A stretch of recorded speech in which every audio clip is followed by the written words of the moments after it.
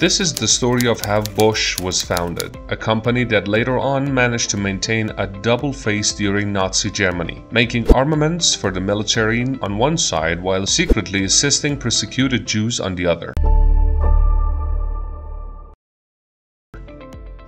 Robert Bosch was born on September 23, 1861 in southern Germany.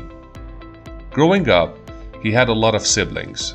He was the 11th of 12 children. His father was a farmer, brewer, and innkeeper.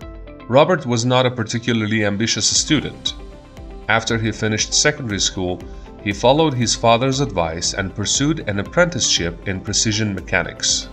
On November 15, 1886, Robert Bosch, then a 25 year old aspiring individual, was done with his apprenticeship and working as a journeyman in various companies. So he started the workshop for precision mechanics and electrical engineering in a small backyard in Stuttgart. That workshop later on grew to be the monumental Bosch company as we know it today.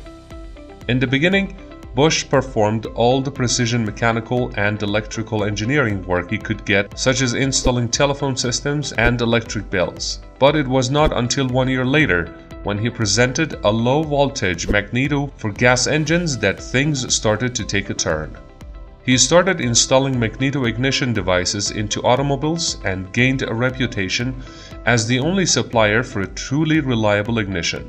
Bosch officially opened its first factory in Stuttgart in 1901. Then in 1902, Gottlob Honold, the chief engineer and innovator at Bosch, perfected the previous low-voltage magneto-ignition system and designed an even better model known as the high-voltage magneto-ignition system with spark plug. With this product, Bosch came out on top as the world-leading automotive supplier.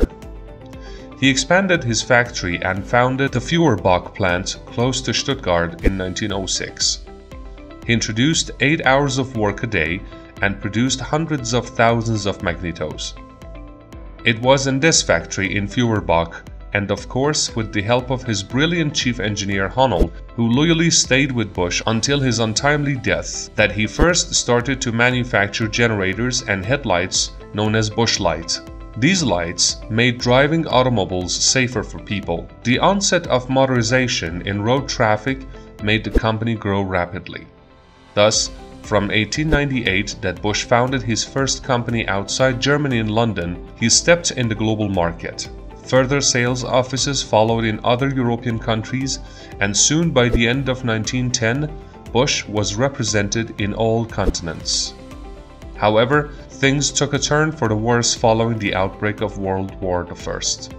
In the wake of World War I in 1914, Bosch lost most of its international holdings including its US factories.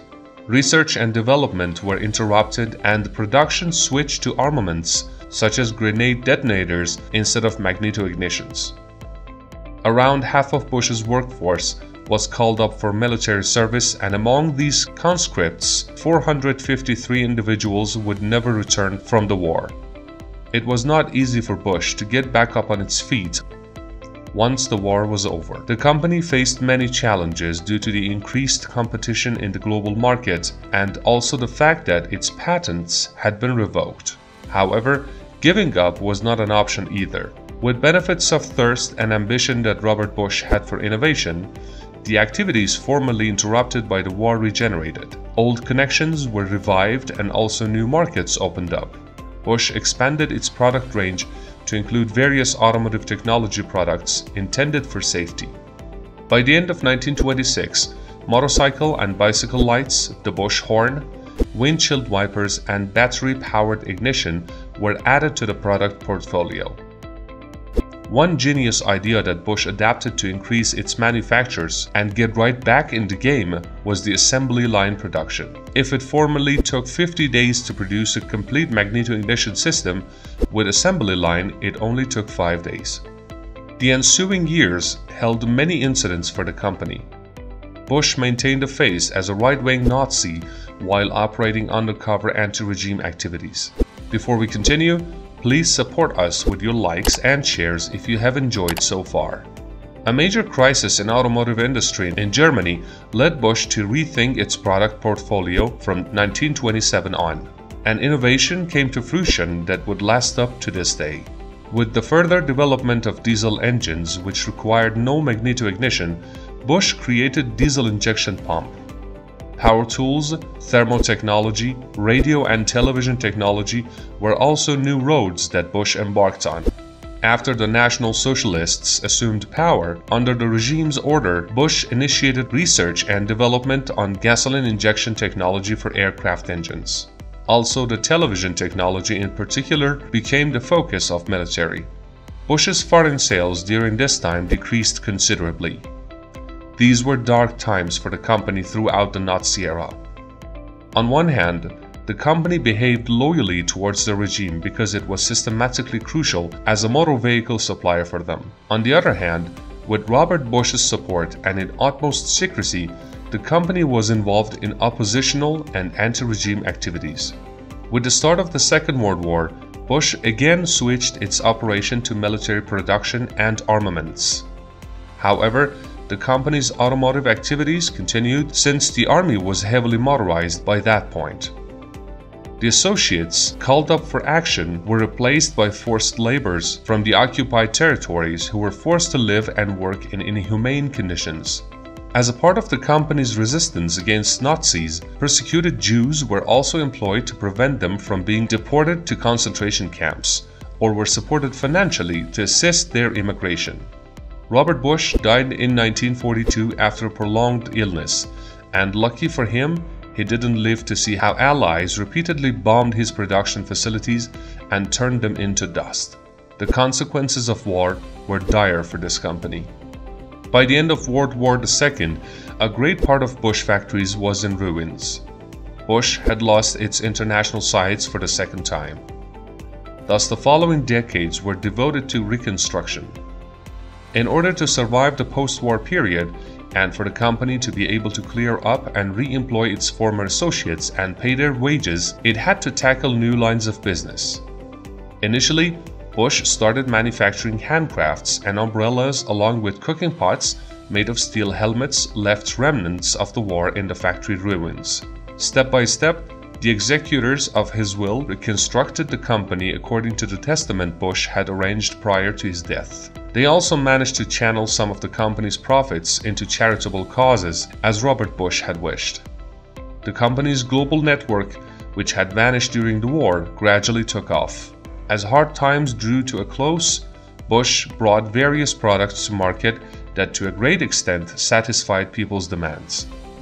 He produced kitchen appliances, drills for do-it-yourselfers, car radios, and electronic components. Bosch even upgraded the gasoline injection it had formerly developed for aircraft engines to be used in automobiles. From the 1950s until 1980s, the company transformed more into what we recognize today. New structures and divisions were formed. The research facilities were further developed in an endeavor to turn electronics into a linchpin of the company.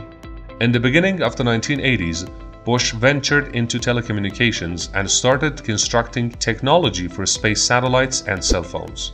The fall of the Berlin Wall in 1989 paved the way for the fall of the Iron Curtain. Germany reunified and the political boundaries dividing Europe into two separate areas from the end of the World War II to the end of the Cold War were demolished. Besides, utilizing software opened up new opportunities for Bosch. The last three decades have brought rapid economic changes on which the company has successfully faced head, to the point that nowadays there are not many houses in which one cannot find any of the Bosch products. Today, the majority of Bosch Group businesses are classified into four sections. Mobility Solutions sector, Industrial Technology, Consumer Goods, and Energy and Building Technology business. Bosch continues to expand and keep up to date persistently. This is how Bosch was founded and became the significant brand that it is today. Click right here to check out the story of Sony.